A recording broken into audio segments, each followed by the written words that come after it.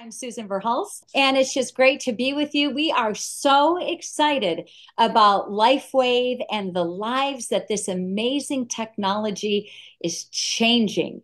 And the beautiful company, the beautiful heart of David Schmidt, and everything that we're a part of. There you go. Well, everybody has their grocery list, and we started out with, for me, shoulder pain, hip pain uh, foot pain.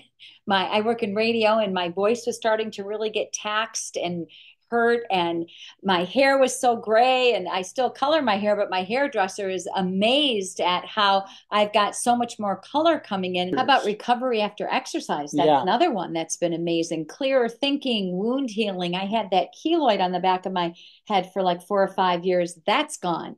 So it's wonderful because if you keep patching you're going to keep regenerating and that grocery list of of items, big or small, it starts to all right. go away. And the thing you need to understand